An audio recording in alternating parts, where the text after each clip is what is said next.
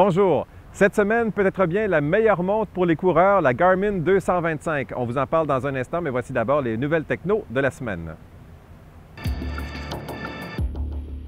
Eh oui, c'est la nouvelle techno de la semaine. Depuis qu'on en parle, voici enfin le nouvel Apple TV.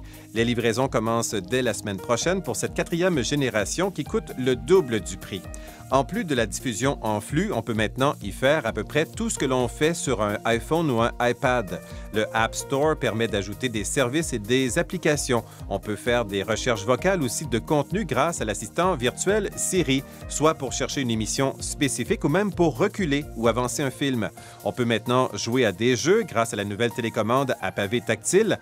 Malheureusement, pas de 4K, contrairement à ses concurrents. Apple s'en tient au HD en 1080p quand même.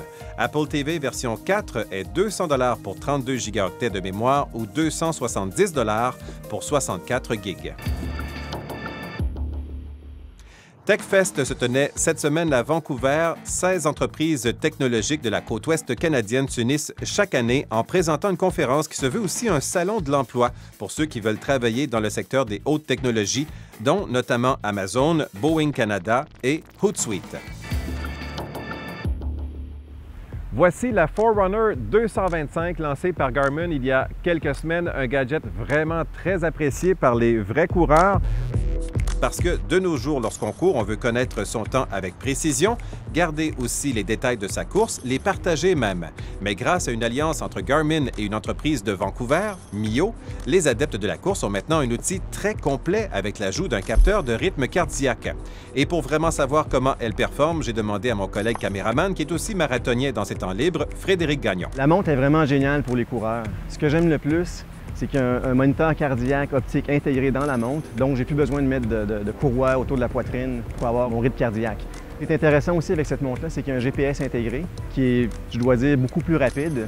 Avant, je devais être sur le coin de la rue, attendre 2-3 minutes pour avoir un signal GPS. Maintenant, ça se fait en 5 secondes. Donc, elle calcule la distance, euh, la vitesse, euh, etc.